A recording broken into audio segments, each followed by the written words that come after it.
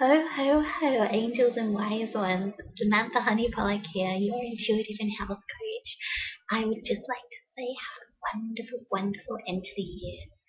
May everything that you've experienced this year, all the things you've learned, all the ways you've grown, everything you've intuited, everything you've lost, everything you've gained, become the beautiful foundation for weaving a life of true joy and fulfillment in 2014.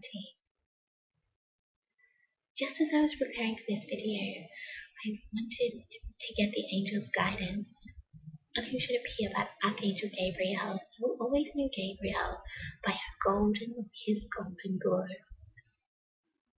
Also, if you see auras, pay attention to anybody who comes to you with a golden aura because they have a very special message to give you. This is the gift of Archangel Ariel. Ariel, I said, what do my angels and wise ones really need to know about this somewhat difficult week in astrology up ahead, the Christmas, the New Year week? And Angel Gabriel had a very simple message.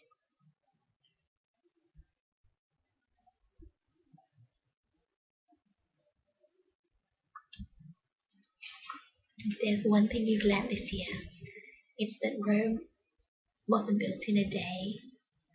It's that whether it's a major lifestyle change you seek, like weight loss, or whether it's total change of environment, total change of dynamic in your relationships or family, it's every day, little bit by little bit, working towards this change, visualizing this change, seeing yourself in this new place as this person enjoying that life that gets you to where you want to go. This is the way the world works. This is how we meld the energy until what we what's presently unreal becomes real, becomes everyday life. So you are on your way. Have patience. And don't let any rocky waters this over the next two weeks rock your boat. You have a beautiful vessel. It's very well balanced. And it will stay well balanced. You can stay calm. You can stay you know, steering the till of your life, so to speak, with more of Archangel Gabriel's wise words.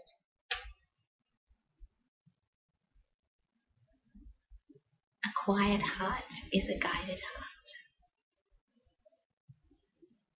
Beautiful. So, in the midst of any noise, raucousness, you can take whatever you want in, discard everything else, stay true to yourself, tune into your guides, and always ask the angels for help if you're feeling a little bit wobbly. And remember that everything you've come through this year is only paving the way something new and better, beginning the new mean 1st January 2014.